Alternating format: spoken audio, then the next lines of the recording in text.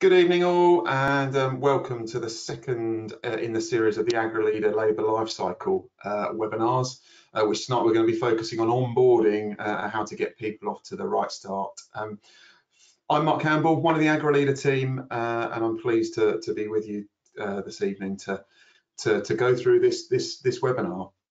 So let's cover just a few bits of housekeeping. Um, so as you know, all attendees will be muted um, and we're aiming to, to, to, wrap this up by eight o'clock this evening, so just, a, just an hour long. Um, the webinar will be recorded um, and it will be made available to everybody um, after the event and also it'll be on the website uh, and on various catch-up uh, uh, social media and various opportunities uh, for that. There's also a survey, um, so at the end of the, the broadcast uh, there'll be a survey there, so please um, as always with any uh, the AHDB events and information, uh, your feedback is hugely valuable uh, and we can utilise that to, to, steer how we spend your levy and how we develop more, uh, more resources. Um, so this is an interactive webinar. We really, really want to have um, your opinions and your questions. Uh, so if you haven't used GoToWebinar before, uh, up in the corner of your screen, there's a little orange arrow which opens up a box and on that box there is a questions panel. So please feel free to type in your questions uh, and then we'll endeavour to ask, um, I'll, I'll, ask those uh, to both of our speakers. So without further ado, a bit of an introduction. So onboarding um, is more than just a box ticking exercise. Um, beyond meeting uh, the legalities of training compliance accreditation, um, uh, onboarding can help uh, win hearts and minds and carve a stronger direction of travel and create that uh, one cohesive team or that one group of people uh, within a business. Um, here at AHDB, uh, we've recently launched our, our labour lifecycle uh, set of resources, which can be found on the website, which is a library of online information and resources which will help you as farmers to better manage your people. Um, whether it's from working out a role um, that you're looking to fill or whether it's updating your staff handbook um, or whether it's putting the mechanics in place to develop uh, one of your people on, in your business. Um, there's a lot um, to do um, and all against um, a backdrop of farming that's facing some huge challenges and also a massive competition for, for skilled labour, which is becoming more and more difficult to find with the challenges that the world's facing. So I'm really, really pleased that we've got um, two great, great um, guests and speakers this evening that are going to um, help uh, and discuss their experiences and their insights uh, around the onboarding process uh, and how uh, they've experienced inducting staff uh, in, into their businesses. So um, yeah, let's let's let's get to know. We've got David Bell, um, who's a mixed farmer from East Fife in Scotland um, and if he honks his camera on, and we've got Maree Moore, who's the Associate Director um, for Organisational Learning and Talent and Inclusion at Coca-Cola. Um, David, Maree, welcome. Thank you for joining us. Um, we're really pleased to have you uh, on board with us uh, to, for this bit of discussion. So David, um, we'll start with you. Um, do you want to give us a little bit of an introduction to you, your business, and, and uh, yeah, about how you've landed yourself uh, on this webinar with me? uh, yeah, good evening, everybody. Uh, I'm uh, Dave Bell, uh, mixed farmer up here in East Fife, Scotland. Um, and yeah, next slide, please, Mark. Um, so mixed farming with uh, beef suckler herd, um, cereal arable operations. Um, we do potatoes as well, um, and we let out uh, vine ground for peas. So we have a full uh, full rotation between that, and we also do environmental areas um, in the agri-environment climate scheme, um, and uh, yeah, um, livestock above the ground and below the ground is, is, quite a quite a good way of looking at it uh, um, with uh, mixed farming and stuff like that. And next slide, please, Mark. Um, so we've got uh, and currently we have a full-time team of three, um, and as you can see, uh, a varying uh, varying tenure with us so far.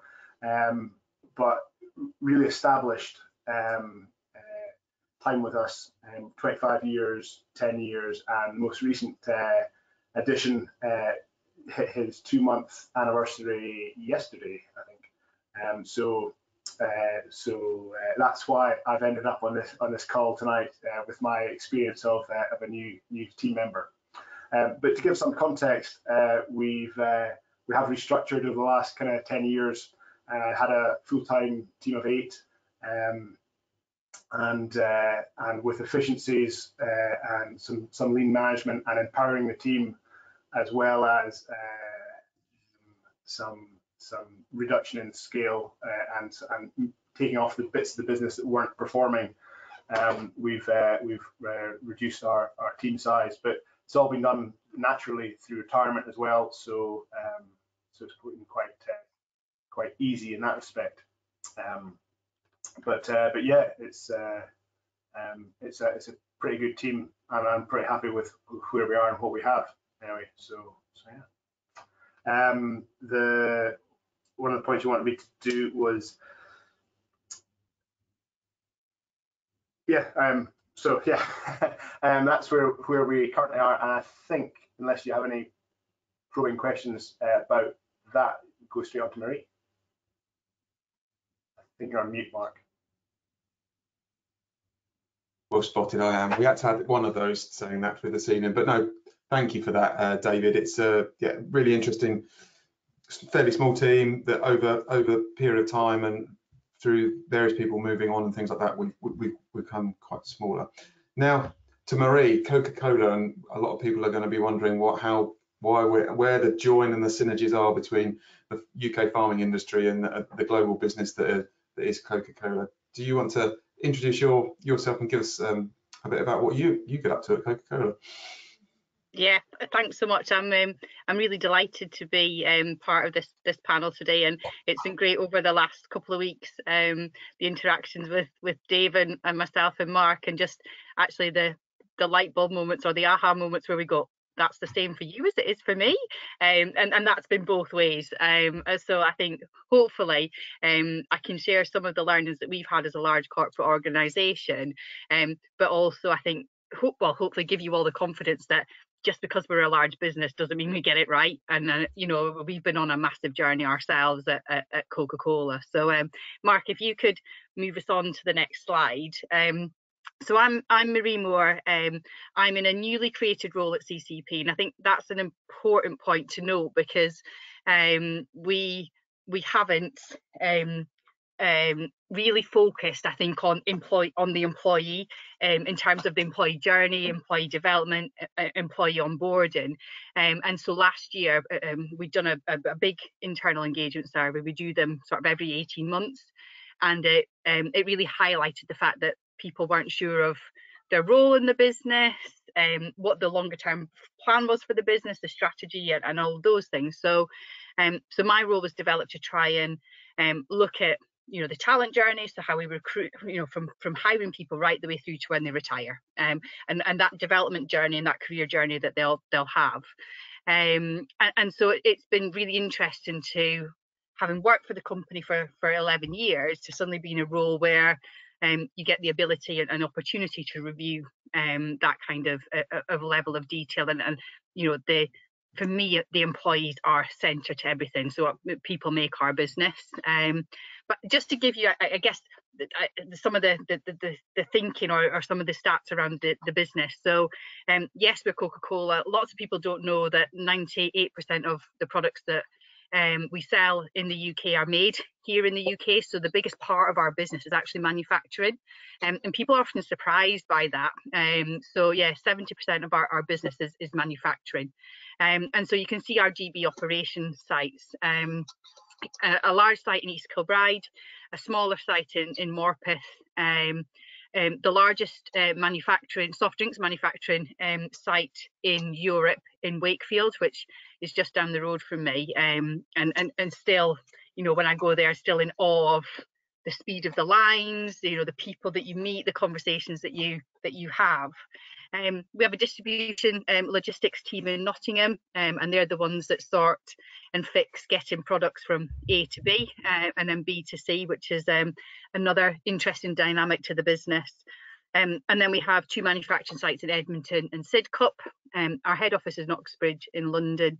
Um, and then Milton Keynes is our cold drink centre. So that's where we um, uh, send out all of our equipment. So the chilled fridges you'll see in corner shops and, and the um, soft drinks machines that you'll see in, in pubs and restaurants. So so you can see there, um, you know, some some of the stats around around that. The interesting point about our manufacturing and our operations team in particular is the fact that the, our average length of service in those roles is 16 years. So I start to see some of the similarities with Dave around, you know, people they join and, and they stay with us. Um, and so, so what we tend to see is um, really good um, experience builds, um, you know, people joining on apprentice programs and, and working their way through their adult life. But what that is I guess over the last few months has given us a bit of a, a, a, shock to sort of look and go, actually, that population's aging and 25% of our manufacturing workforce are going to retire in the next five years. And so that's been another jerk, I think, for us to think about, gosh, you know, do we have the right onboarding process and how are we how are we bringing new people into the business? So um, next slide, please, Mark. Um, so we, we spent a bit of time doing some research and i guess we're quite fortunate that we you know that we have budgets available to do that um, but this is pretty common sense i think so when you take a step back from it and you think gosh you know you've invested in in research by agencies i'm sure many of you are, are sat there going actually yeah this makes this makes a lot of sense to me and, and, and where my farming business has, has, been and where it's heading to and, and the challenges, especially with the labour market. So we know in the UK that it's really tight at the minute. So some of our key challenges around how do we diversify our workforce. So manufacturing for us is still very male dominated um, and we want to diversify that workforce and bring um, you know female talent into into um, into manufacturing we know there's that competition um, we call it frontline but those more junior sort of entry level roles the you know the the sort of um, lower to mid mid pay scale roles. And there's a real demand for people with talent or specialist skills. Um, and again i'm sure that's exactly the same in, in your industry. Um, and that's led us to three sort of big opportunities. So personalize our employer brand diversify how we attract people into the business so where we recruit how we recruit them um, etc. And then how do we leverage our candidate experience? So it's that piece of right from the first interaction with us, right the way through to how, when they retire. How do we want to, you know, to, to to work with people and treat people? And I think all of those those three things are all focused on people. Um, and so it is about putting the person at the heart of everything that you're doing. So, you know, you have to now, for especially for the younger generations, appeal to um, the hearts of, of individuals. It's not always about money now. Um, and certainly when I was looking at, at work and promotion for me, um, being a baby boomer generation, um, it for me it was about how much money I could earn and how quickly I could earn it and how quickly I could get up the ladder. For, for, for you know for millennials and Gen Z sort of younger age groups, it's not so much about that. A, lot of them are really interested in the development they can be given, the culture, how it feels to work with you, um, and only an individual and a small team, and you know, can make that happen as part of a larger organisation. Um, so next slide, please, Mark. Um, and there are loads of industry um, insights. So this is a really busy slide, and you you don't need to sort of know the detail, but I thought I would share it because you might want to look back later. But um, and again, this isn't this isn't rocket science and, and you think oh gosh you know why didn't we think about this ourselves? Um, but you know recent research that, that uh, uh, an organization called Korn Ferry which we use quite a lot and another organization called Gartner they're all doing similar research in this area and they're saying that people you know the, the, in the conversation that they've had in the last 12 months the the one that had the highest impact on them um, was around performance um, related conversations. If they were in a formal setting so like during a, a formal sort of appraisal or um, an end of year review, for example, um, that that was sort of 53% of those conversations happened then, whereas less than half of those conversations took place in an everyday environment. And Dave and I were talking about this not so long ago. Um, I think it was just earlier this week, but you know these conversations don't have to be formal you, you don't create culture and you don't create a want for someone to stay with you as an organization or, or as a leader um, by having these formal sit down conversations. And we are quite a corporate organization but it doesn't work for us in supply chain. You know it, people are on the lines for 12 hours a day four days on four days off. They're working nights um you know the working days and and then you know they're fixing. They're, they're always they're always there. And actually those coffee chat conversations are probably more impactful than those more formal ones people don't open up and you don't get to see the true person if you're doing formal tick boxes. So um so that was one of dave and i's reflections. Dave was like oh yeah you're an hr person so you'll have templates and toolkits. Yeah we do. And i am an hr person and that is part of my job.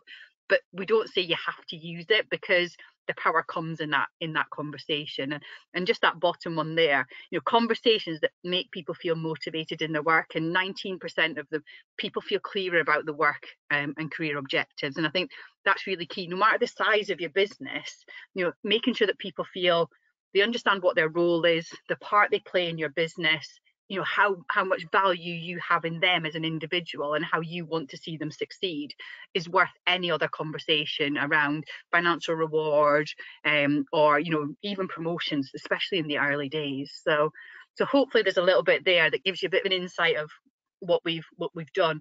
Our onboarding journey was was non-existent really in, in in our manufacturing side of the business. And and so making sure that we have those reminder moments for managers to have those conversations it, it, that's the habit you need to build. Um, and again you know we've we spent months looking at different ways of doing it and you know different you know video messages we've been able to record and share widely and broadly with with teams so that managers aren't having to recreate content. And i think that's where the labor life cycle um you know that that will that will really help i think this industry with having content that's there that you can move and, and think about and, and consider how you apply. So um so yeah hopefully that was was a useful intro, Mark. Brilliant, thank you, Maree. That's absolutely um, fantastic. And let me just, uh, I'll stop sharing for a minute so we can uh, come back in. Just um, to build on that point, and I'll start with you, you Maree. You you, you talked there about the, your onboarding process and procedures were non-existent in the manufacturing side of the business, which is the key bit. What what has been the journey? Uh, how long ago to um, putting something in place in terms of your onboarding process? Yeah, I, I think it, it's interesting because although it was non-existent there was things happening if that makes sense. There was the lack of consistency. Um, and so you know people didn't know what to expect. And then you'd hear good things and you'd hear more challenging things. And then you'd see the retention levels. So people you know coming in and leaving really quickly in certain sites and locations. And when you start to dig in you can see that you know there wasn't a you know a good structured you know induction. It could be you know one of the things we've we've introduced is buddying. So um you know when when someone new comes in, the biggest thing to try and help them with isn't so much the job or the task, it's more about where do they fit in the team? Because actually you spend a lot of time at work and you know having somebody that can put their arm around you and kind of bring you along and help you settle in in those first few days and those first few weeks is really is really important. So um that that was kind of where we started. We we knew that there was there was corporate stuff that we wanted to share, but let's be honest, a lot of us will do that research before before we join a company or actually it doesn't really float our boat. So you know the, the corporate stuff yeah you have to do and the legal stuff you have to do all of that kind of training. But you know the, the, the feel and, and it's hard to you, you, you can't measure it really. It, it's that conversation with individuals. How you make them feel in those first few weeks is, is key. And that's a massive mind shift a mindset shift. Um especially when you're got a lot of work to do. It's very processed. You, have got lots of measures in place. So, you know, how how quick your lines running, how effective it is, how much downtime do you have, how many changeovers are you having, how many stops in production are you having. All of those metrics become really important because they're the business drivers but you have to take a step away from that to invest the time in, in individuals. So we had to work really hard. Some people were more on board with it than others, um, and we're probably still not there yet, if I'm if I'm completely honest. Um, but you know, I think once we'd identified that, probably the back end of, of last year, and then we sort of we pulled together a, a group of people that were passionate about it because you can't always people that don't want to be involved probably are the ones that are going to derail any of your thinking and your and your ideas. So we brought a a couple of people from each of the sites together to say, you know, how how could this work for you? Because what works in a sales function when everyone can be pulled off the road or can do virtual sessions is very different to people that are on a on a fixed site. So um so we we did a few we did a few things at, at the smaller sites and we took some learnings from that and then by June June July this year we had a flow a structured flow that anybody could lift as a manager or a leader and then implement into their into their sites. And uh, again it's it's not a heavy slide it's not a heavy toolkit with lots of checklists. It's more of a don't forget to you know make sure you've you know try and build that rapport try and build that relationship and make sure that you know you're checking in on not just the job you know how are you finding the job but you know how's this working for you? You know how's your work life balance? You know is are, are you worried about anything? You know some of those early conversations are key brilliant thank you that's really really really really interesting david to, to bring you in now you, you stated you're a very well established team you've just had a new employee um, replace someone that's been with you for 30 odd years what did you do with this new employee um, to, to bring him into the business um, with uh, a fairly established couple of couple of individuals um, already on the farm? Thanks. Um, yeah, well, they are established and uh, and uh, known them a long time and worked with them a long time, but we're still not at Maree's stage of uh, putting your arm around them. Uh, we do not have that touchy feely just yet, um, but you never know. There's always time. Um, so um, yeah, with a, with having an established uh, work team uh, over the years, and we've not had turnover. Uh, you know, um, you know, with with with all um, uh, um, without being arrogant, I, am doing something right. I've got a team sticking with me, and uh, uh, so they're so they're um, they're, they're they're relatively happy and settled.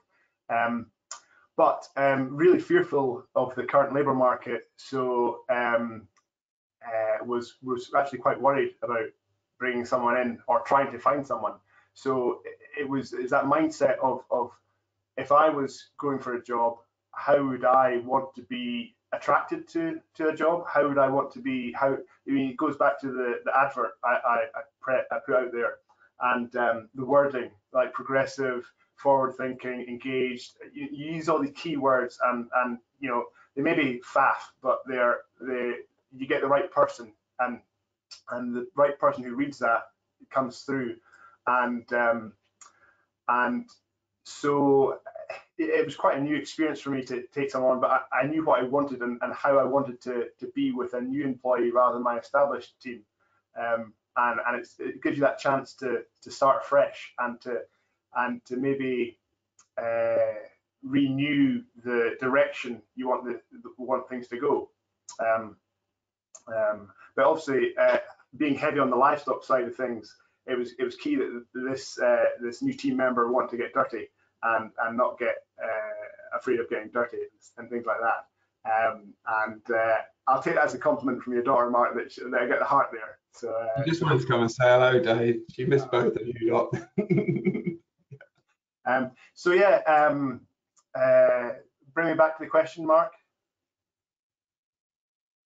Yeah, what did you do to, to bring this new member? What were the kind of things that you put in place um, to bring this new member of staff into the business, um, to induct and onboard them?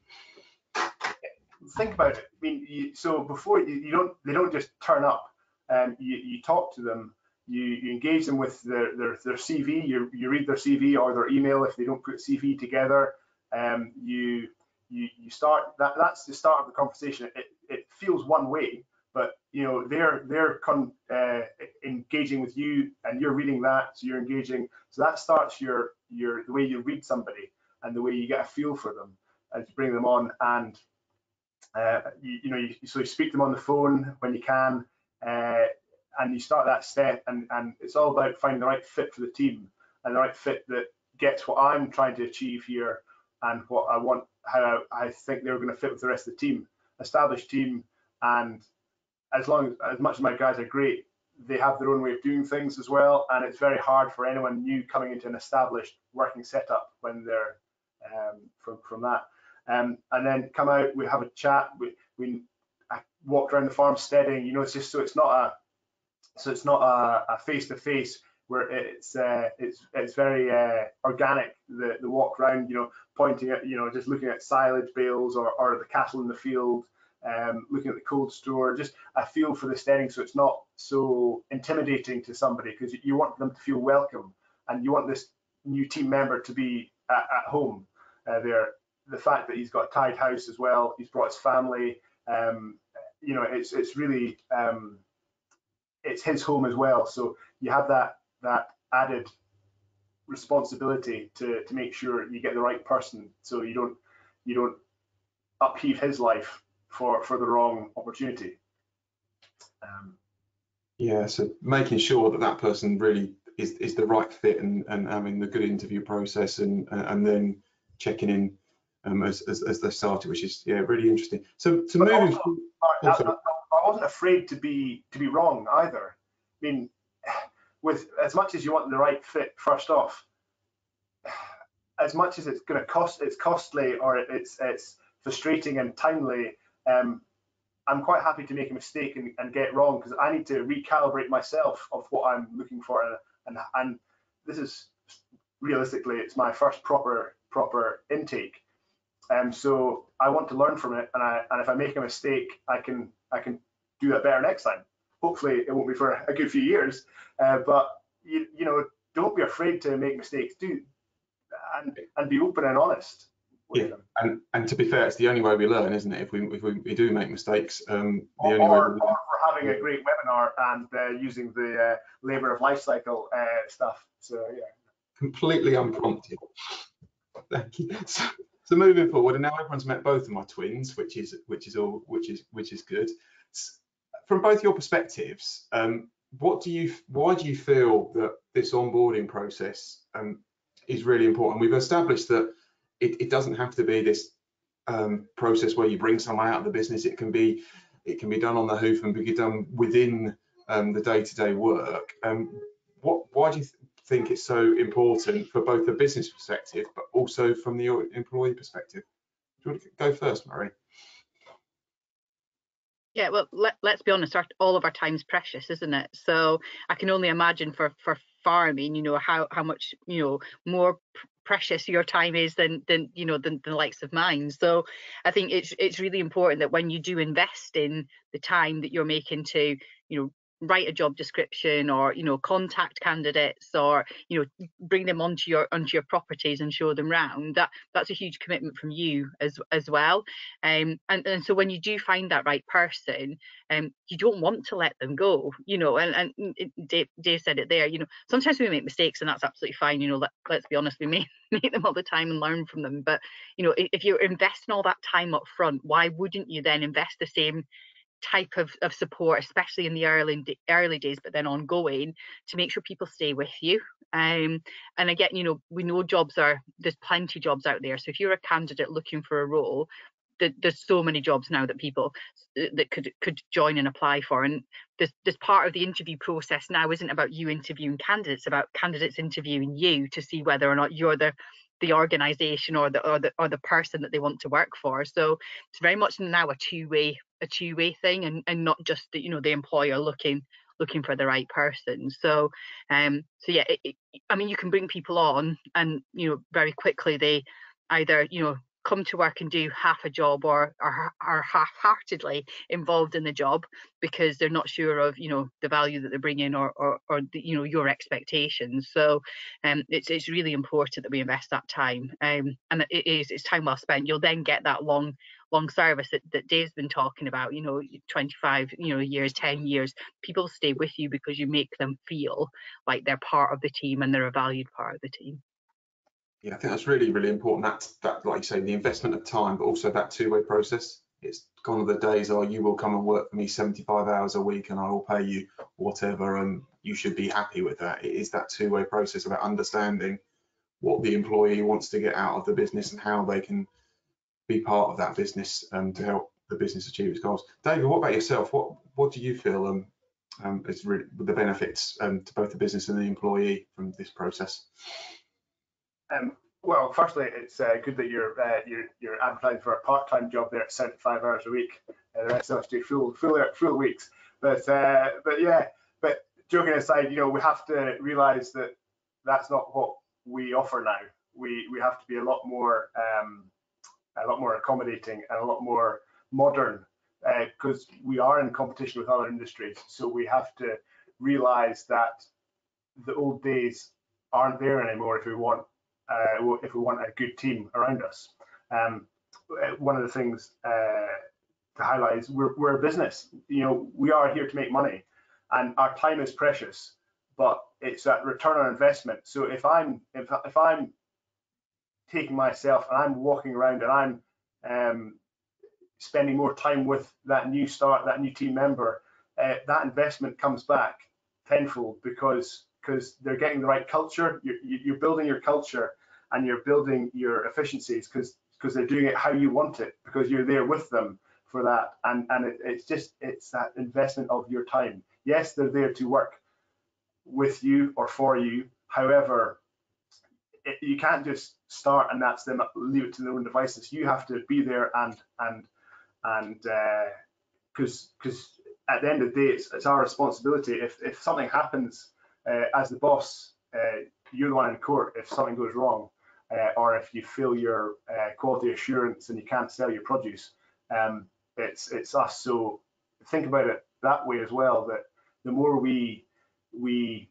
guide and the more we uh, engage that culture uh, for the team, um, it comes back to, to pay for itself.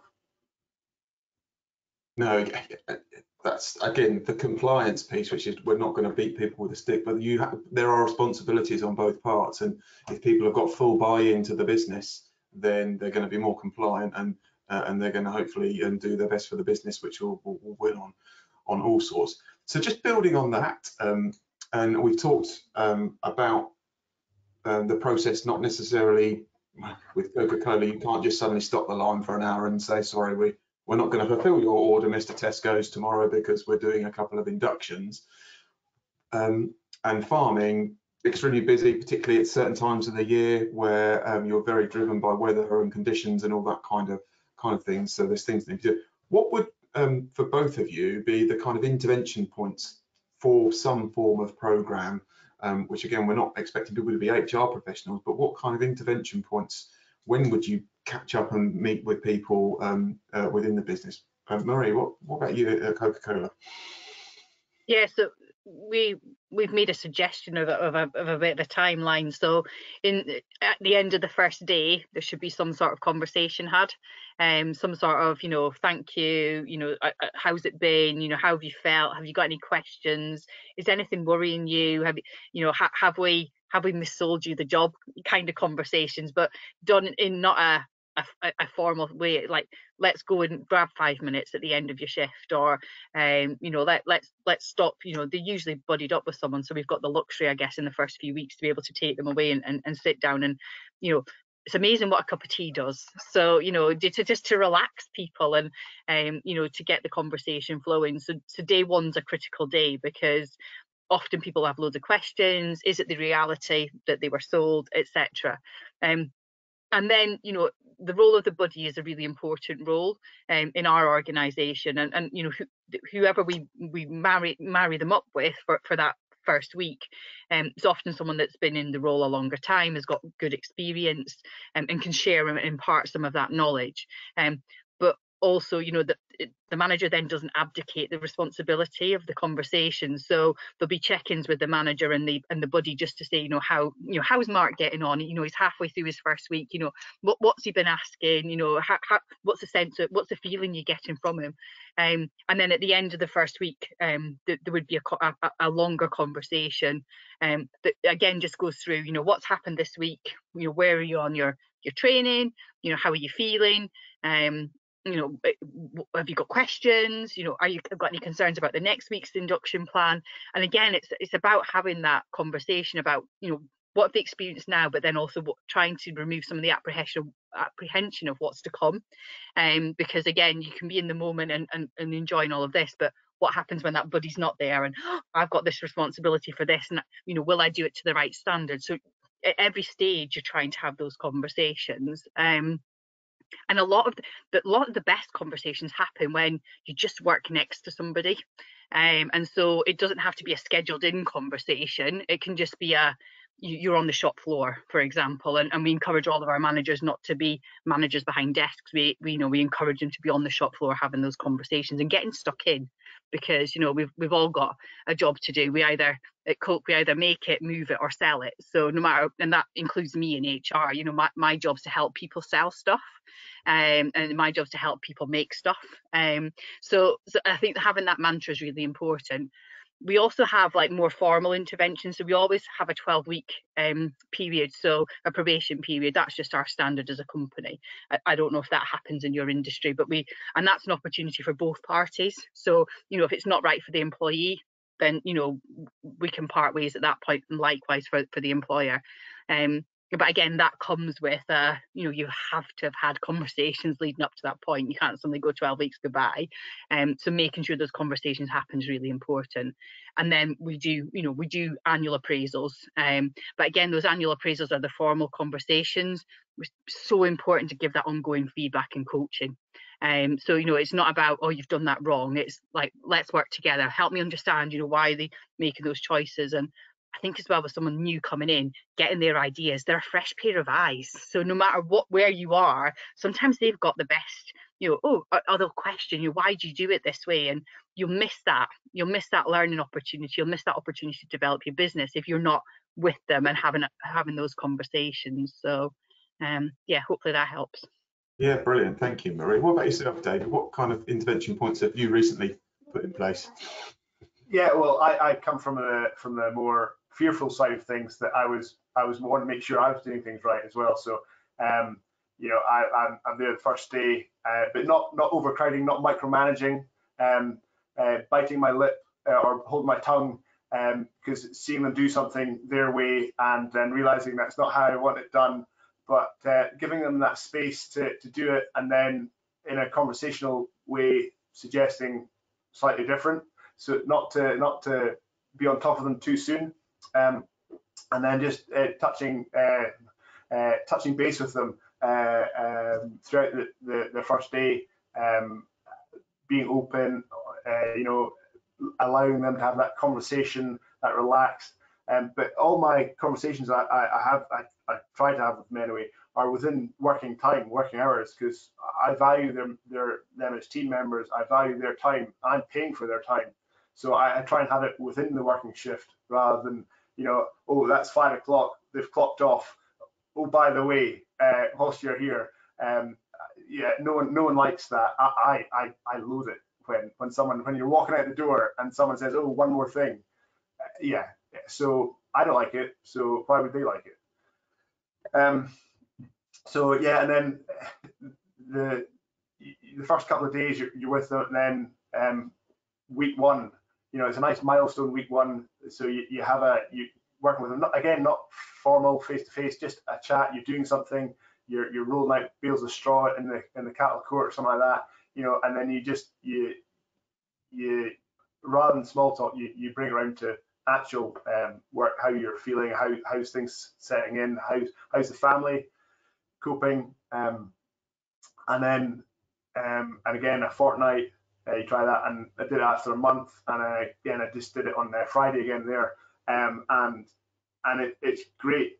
You know, obviously you're you're you're always talking to them. You, you see them most days, um, but it's that honesty and, and, similar to Maree, there's always learning experiences, and and I right from day one or even the interview, I was like, you know, you've you've been to more farms and worked more farms uh, almost, uh, so how do you do things and, and and you know if you see something please tell me because as much as I think I'm doing the right thing with my work uh, and, and the farm, and I, well, I, I know I'm doing the right thing, but I can always learn, and I'm always open for little tweaks, little efficiencies. It's the multiple gains, marginal gains. Um, so, so I'm, I'm always open to, to learn, and uh, but it's the transparency as well, and and we have a great open, honest. Uh, and, and so I was I was really quite interested in why he left his last employment uh, and, and now he now he, he trusts me more because uh, he, he knows me because we've worked together for, for two months now. And, and he's like, well, I was lied to in interviews, and and every time he's he's left employment is because it hasn't hasn't uh, lived up to what he was told it would be an interview. And uh, with all honesty, he's just uh, I'm really so pleased he's, he's gushing because everything that I've said in the interview, he, he says that he, I, it was exactly spot on, if not better than it is now. And um, so he, he's really happy, and that gave me a huge sense of I'm doing the right thing. He's happy, his family's happy, he, and uh, just that. I, I, wouldn't say he's got spring in his step, but he's uh, he, he's pretty he's pretty chuffed to be here, and it's it's what he wants and what he expected. So so uh, yeah, it's um, it's just continual that continual uh, staff team development and and it's a team and and you just don't leave a team isolated. You're, you're always working with them. You're always engaging and and uh, encouraging and and it's um, yeah. Yeah. So that that really interesting there. That that interesting mix between informal and formal interventions that you don't just literally have to be day one, day seven, day day three, blah blah. You must come into the office for two hours and we must complete this 475 page.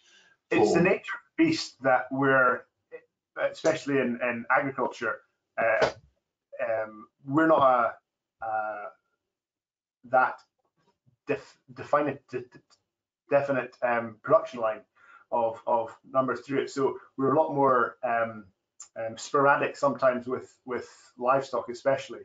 Um, so you don't always have that set day in a, in a, in a in a day, set time in a day. So we've got to be more flexible, more more uh, organic um, so so yeah, um, but it, it's a mindset as well. It, it's it's um, we, are managers. We've got so many things on our, on our heads uh, and on our shoulders. But you know, the team, the, the whole thing grinds to a halt without a team. So it, it really is. Uh, it's a it's a more focus on the value of that team to you and your business. So you have to invest in them. You have to get it right because it's going to cost you if you don't have them. So, yeah, yeah, definitely. And, and that being honest and establishing those relationships, which is what the world's built on. If we haven't got relationships, we haven't got trust, you're not going to be able to fulfill all those things. That's really, really good. We've had a couple of questions come in um, online. The first one, which I can completely empathise with this. So through this, this, this, this bringing these new people into the business, um, there's a whole raft of information that you need to chuck at them um, both to establish them into the business and also for compliance body. I can remember um, a previous job, and I won't name the employer, where I was presented with an arch lever file, which is like two telephone directories, and asked her, could you just go through that? And thinking, oh my life, which was everything from risk assessments to um, how to use the the staff um, various discount um, codes. How would you both prevent that overload of information through through this onboarding process? How how how would you do that, Maree? Yeah, you're making me laugh because I remember when I first joined um, CCEP, nothing was ready for me on day one. So I joined and there was no computer, there was no phone, there was no email address, there was nothing. Um, and I look back now and I think, gosh, actually, that was a real luxury at the at the time. But at the same time, it was like, oh, were, were they not expecting me? You know, and then that in itself that first impression wasn't great.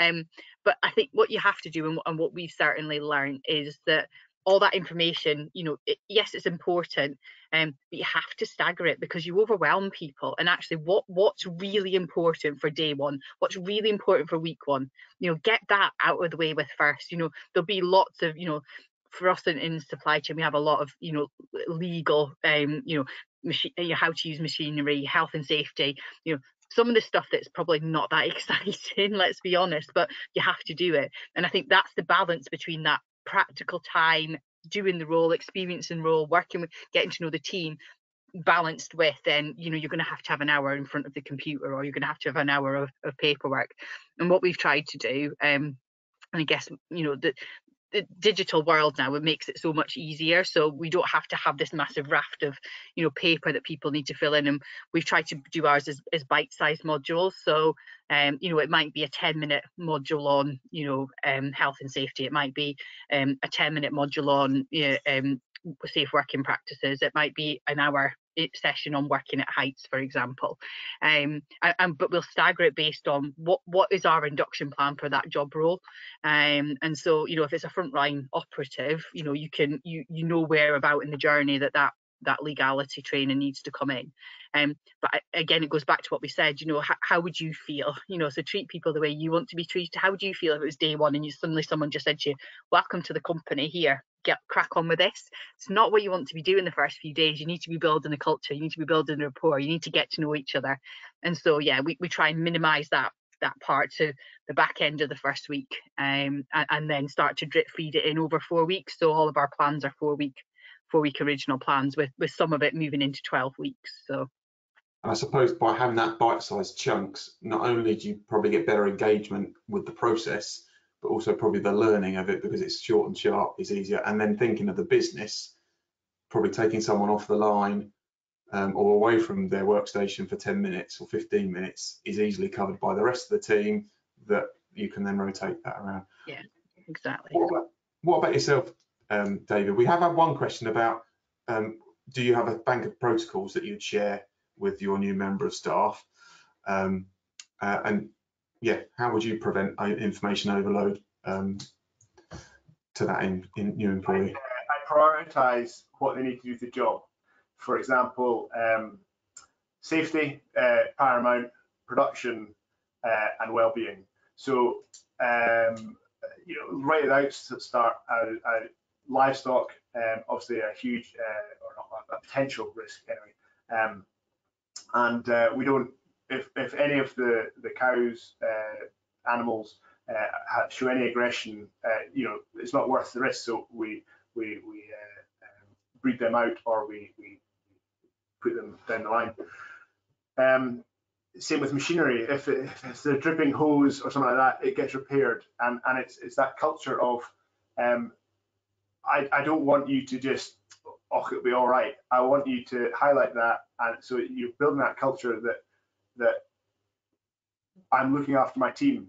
Um, so that's a that's that from the outset, um, and I want them to to um, know what they how to operate things. So if there's training to be done to on a particular machine they're going to be using, that's a priority. So you bring them up to speed, um, and the physicality of it um, and the, in, in, that working environment is, paramount for the, for their own safety, for the farm safety, for the animal safety, um, and for the other team members' safety. So they're they're what I focus on initially to get them started, and uh, and then the less glamorous stuff uh, gets uh, gets uh, brought into the to the um, to the, uh, the fold. And you have reminded me, I have a, a nice large, large uh, um, union uh, assurance um, risk assessments, cost assessments, and blah, blah, blah. They've got to read through and, and sign off that they've read it. Um, so that could be this weekend's uh, little present for them. Uh, uh, maybe an hour, hour or two of overtime uh, reading through that ARC file anyway. Um, but yeah, it's um, it's prioritizing to get them up and running as a as a valued team member to start paying paying their way, shall we say. Um, and again, I suppose it comes back to that individualization. So you're focusing on what that individual needs to make sure that they're compliant, that they can do their job effectively, um, and, and, that they're happy and healthy and safe. Modern, um, modern farm machinery is not just a jump and jump in it and goes. Um, so there there is a, a good bit of uh, learning and and similarities with other things, but yeah, you, you have to spend a bit of time and not just expect them because they've worked on another farm. It might be a different color of tractor that they're used to driving. So as much as it's still a tractor, uh, the different computer systems, the different uh, transmissions, etc., mm. etc. Et so yeah, that needs to be covered. I'm sure that's exactly the same at Coca-Cola. You can't just let someone loose on some fancy piece of machinery without giving them a bit of a, an introduction how, how, how to use it. Actually. So um, we're, we're, we're rapidly running running through time. So even though both, whether you're in a UK farming business or whether you're working for Coca-Cola as a big uh, multinational, there's definitely some similarities in terms of um, what your the challenges you're facing and, and, what you're actually doing to to develop um, onboarding processes um, uh, for your staff. What could each industry learn from each other? What could farmers learn from Coca-Cola, and what could Coca-Cola learn learn from farmers? David, what do you what, what do you reckon Coca-Cola could learn from us as farmers? Um, well, let's make some sweeping statements about uh, about the, the, big corporate entities. Um, I'd say um, soften the wording. Uh, you know, like skills matrix. Uh, so I've got a skills matrix. No, it's it's a list of certificates that my team members have, and uh, uh, so I can tick off the, the stuff they need for for their safety, for my safety, for my progression, for my my investment in them as as part of CPD. Um, I'd say that um, onboarding and induction, uh, without using big words like that, it, it's conversations, it's chatting, it's it's uh, welcome. It's how you welcome someone into your culture, into your your business. Um, yeah, the softer softer side of things, I think they could uh, pick up on. Brilliant. And not be intimidated by big words. Let's put them. Let's let's get some um, some plain English. Plain English. Excellent. What about yourself, Maree? What do you think um, farmers could learn from from you and Coca-Cola? Yeah, uh, it, it, it's a funny one, isn't it? Because um, I'm quite a simple person myself. I, I, you know, those fancy, flouncy words. You know, it, it doesn't it doesn't mean anything for, for me, and it, it doesn't land with people either. So I, I think I think you're you're fair with your challenge, Dave. So I appreciate that. I've written it down. So um, so yeah, thanks for that. Um, I, I think just from a just because you're a large corporate or you're a larger, you know, agricultural business doesn't mean that you do it better than anybody else. Because actually, you know, someone that's got a, a you know a, an organization with you know two or three people um, can actually sometimes have the best the best ideas and the best solutions and onboarding. And so you know you you can take a, a total global view of it, or you can actually look at individual teams and and you know and, uh, how you build that culture for me is the, the most important important part. Um, we've invested, you know, lots of money in research into into culture, but it is it, it is all about how you make people feel. And and I think Dave said it earlier, and he kind of stole my um my my sort of a bit of advice, but it is it is very much about you know treat people how you want them you know how you'd want to be treated yourself you know put yourself in their shoes you know. You're investing all of your time into these individuals you know people good people don't come along every day.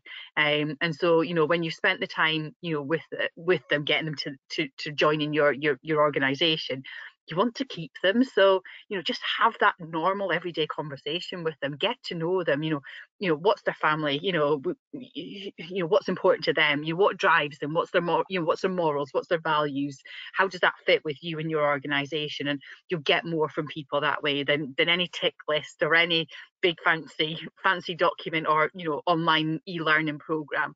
It is about the conversation and, and for me that's that's where you need to invest your time. You know, we, we've put our managers and, and leaders on, on specific training about having effective conversations, but there's loads of great content available online that's free to access. So, you know, don't be afraid to to, to build that relationship, I think.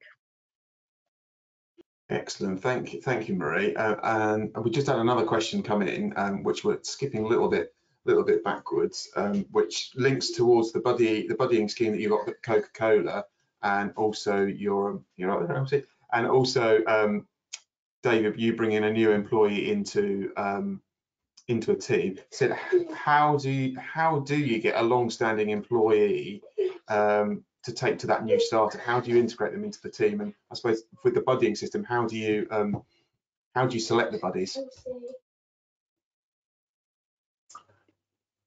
Um, well, uh, we don't necessarily have a buddy system uh, with uh, quite a, a small, efficient team. Um, but uh, the prime example is the WhatsApp group. So the team WhatsApp group, uh, when do you bring them into that and, and, and, and when do you start that process of, of telling the established team that there's a new member coming, you know, to with the best will and, will and intentions, it's going to upset the apple cart a little bit um, with the rebalancing of dynamics. But, um, you know, same as you want to be treated. You, the sooner you know, the sooner you can start dropping in and, and bringing that uh, progression forward so it's it's all all together. Um, yeah, it's just the sooner you do something and in, in little steps, but plenty of them, um, and uh, and just you got to start. You, you, you got to start sometime, and the sooner you start, the easier it gets. Brilliant. Yeah, I like the little the little steps piece. You can only eat the cake bite by bite, not all at once. Um, Give it a shot. depends on what type of cake. What about yourself, Maree? What? How do you Yeah. choose these, and, and, and how would you how would you bring a, a new member into a well-established team? Yeah, I, I, think the the buddy piece is a really important one because the the buddy feels empowered, so that there isn't then a threat of somebody new coming into the team. So like like Dave's point there, but yeah, it, it can upset a team, and, and people think, oh gosh, you know, how is the team dynamic going to change? How my role in the team versus somebody new coming in, what what will all that be like? But actually, you're then moving some of that empowerment to the employees. So um, so people come forward. So you know, we'll say, you know, we'll know we've got a vacancy, and um, and, and people will, you know, in that team will, will, you know, will come forward and say, you know, I'm I'm experienced in X, Y, and Z, and and you know, and I'm happy to impart that knowledge, or you know, individuals that are really passionate about welcoming people and telling people how things really are around here, and you know, whether people can play different buddy roles in, in that in that aspect. So, um, and we do have we've we've got like a one hour um session that we run with people that come forward for buddies to help them with, you know, how do they help give feedback to people? You know how do they help you know manage some maybe some of the difficult questions? And but again all of that stuff's really you know quite simple. Again it's all conversations. So you know a, a buddy's role is having conversations with people to help them settle in and help them navigate round and, and understand you know how things are here but also is a way to ask questions without always having to go to the boss as well. So I, I was I was really proud of my team because I, I was trying to get uh, sort out work and, and jobs so they could all work together to, to get a, a bit of time to, to get to know each other. But uh, I, I, I- I failed. Uh, I couldn't I couldn't get the job early enough in the week or in his first week. And uh, my other my other team members they, they went and sought him out and they went and found him to to welcome and just to introduce themselves. And I was just I was so so proud of my guys and that they they but it's just polite. It's just it's good natured it's it's welcoming and uh yeah it's just yeah i'm happy with that so so Ah, have have a bit of confidence in your in your own existing team as well. And uh, if you set your culture right they'll do a lot of work for you as well uh, in that on onboarding on that welcoming uh, phase. Um, I think Yeah. sometimes just to build on that, Dave, it's, it's better for us anyway. Sometimes people need to be given the permission to do that. So, like, you know, we, we we'll often say to people, you know, so and so starting on this day, you know, you feel free to, you know, buy them a cup of tea. Or feel free to, you know, have lunch with them. Feel free to, you know, share your knowledge or introduce yourself. You know, some sometimes people need that permission, and um, so yeah, I, I, I think they can do if, if you've developed like you've said there dave you know if you've developed the right culture in your team the team will take the heavy load off your shoulders. Um and and you know and, and they are the ones that will tell it as it really is. So when you're not around you know it is what dave's just told me to do a load of rubbish and i'm going to find a quicker way to do it or am i going to do it the way that we've all talked about being the right way to to do it because we've all been involved in that conversation so yeah your team your team are so important on in on board and you can't you can't and you shouldn't have to do it all on your own No, definitely not. Brilliant, thank you. I'm very conscious that we're running out of time. So very briefly, what would be your one take home message, each of you, to UK farmers about um, how we how they could think a bit more about onboarding, how they could maybe tweak what they're doing already? What would your one one one take home be? Maree, we'll go to you first.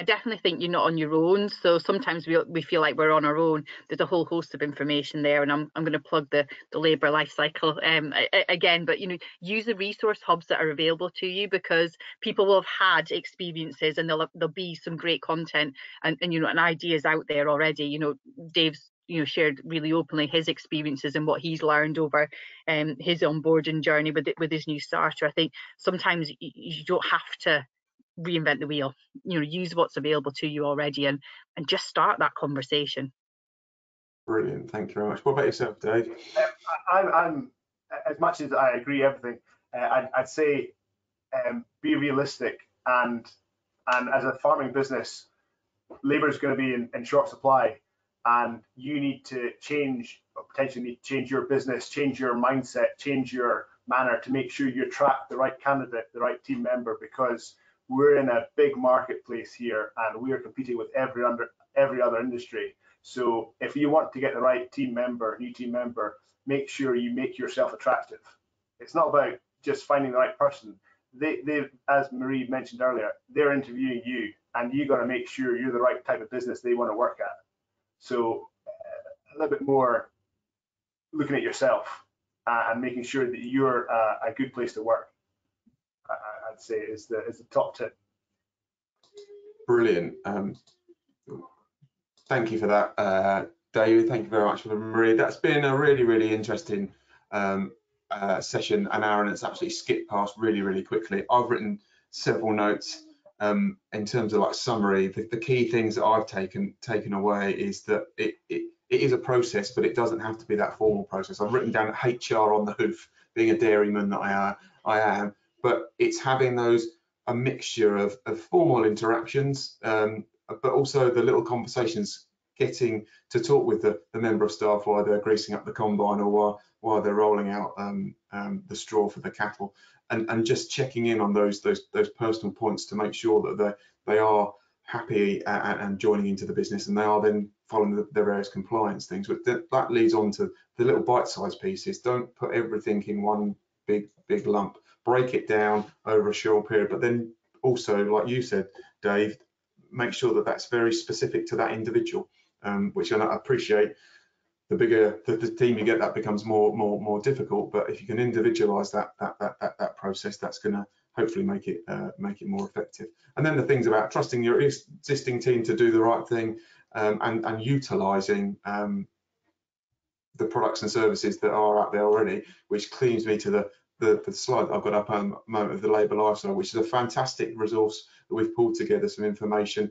For the, the onboarding section, it will give you some, some tips and some pointers around going through that process, but also if you're wanting to adapt and create your staff handbook or that information that you're going to provide your employee as you move forward. There's a QR code there um, to push it forward.